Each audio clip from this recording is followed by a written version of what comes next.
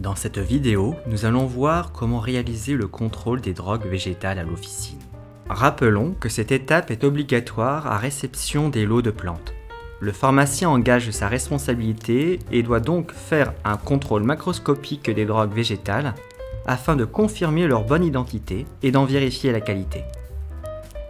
À réception du sachet, il faut vérifier que la drogue végétale correspond bien à ce qui a été commandé.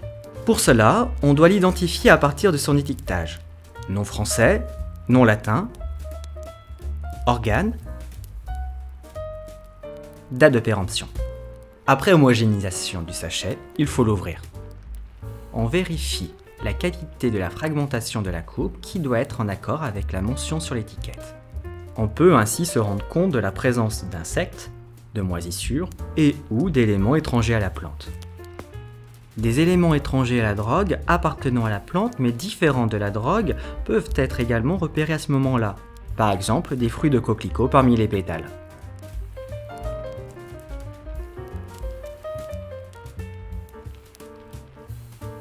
Pour l'observation macroscopique, il faut prélever un échantillon représentatif et l'étaler sur une surface propre.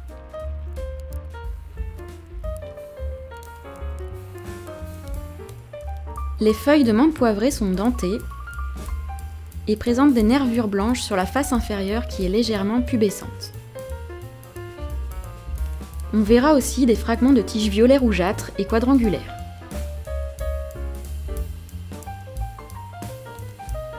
De plus, son odeur est caractéristique, mentholée à notes épicées camphrées. La feuille de menthe poivrée peut être confondue avec la feuille de mélisse. Cependant, cette dernière ne présente pas de tige violacée. Elle est de couleur plus claire, avec des poils blancs sur la face supérieure, et elle a une odeur neutre à légèrement citronnée. Les écorces de cannelle de Ceylan sont privées d'écorce externe. Il s'agit de tuyaux isolés, de demi-tuyaux, dont la face externe est lisse, brun jaune, faiblement marquée de cicatrices. La face interne, elle, est un peu plus sombre et pourvue de stries longitudinales. De plus, son odeur est agréable et aromatique. Attention à ne pas la confondre avec la cannelle de Chine, dont l'écorce externe est plus visible, parfois recouvert de lichen et dont les fragments sont plus épais. L'odeur de cannelle caractéristique est plus fine dans la cannelle de Ceylan que dans la cannelle de Chine.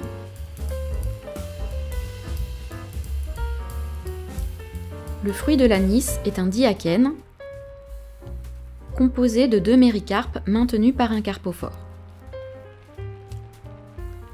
Un stylopode à deux styles est présent à l'extrémité du fruit. Le pédoncule demeure généralement attaché au fruit. L'anis possède une odeur anisée caractéristique. Attention aux confusions. Le fruit de l'anis peut se confondre avec le fruit de la grande ciguë ou le fruit du fenouil doux. Le fruit de la grande ciguë, Conium maculatum, est très toxique. Il présente un pédoncule plus épais et moins long, et les fruits sont plus ronds. De manière générale, les pédoncules sont moins présents. Il présente aussi une odeur plus proche de l'urine de souris. L'autre confusion concerne le fruit du fenouil doux, Pheniculum vulgare. Celui-ci présente une odeur anisée, mais les fruits sont plus gros, plus clairs, à stries plus en relief, et ils ont une forme de ballon de rugby. Les fleurs de mauve possèdent un calice velu à 5 sépales soudés, de couleur verte à vert jaune.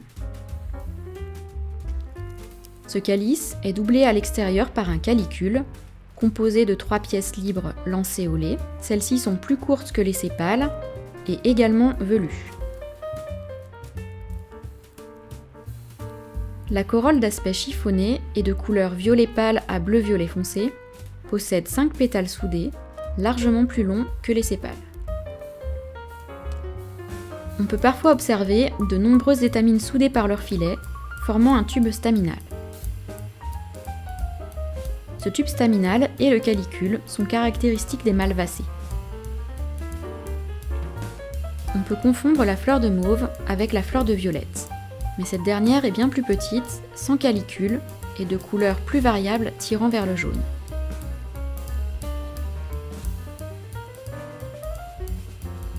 La fumeterre, grise à vert bleuté, est constituée de fragments de feuilles et de tiges creuses et anguleuses. Les fleurs sont violet foncé à violet pâle et elles présentent à leur extrémité une tache brune ou pourpre foncé.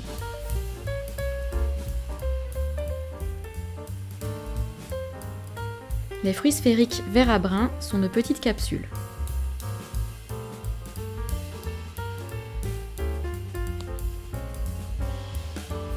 Attention aux confusions avec d'autres parties aériennes séchées, telles que le mélilo ou la passiflore. Pour celle-ci, on n'observe pas les petites fleurs et les petits fruits ronds, caractéristiques de la fumeterre. Une fois la drogue correctement identifiée, son numéro de lot, la date de réception ainsi que le bulletin de contrôle doivent être inscrits dans le cahier des matières premières. Le sachet pourra être rangé dans la zone de stockage dédiée. À présent, vous êtes capable de contrôler les drogues végétales dans les règles de l'art.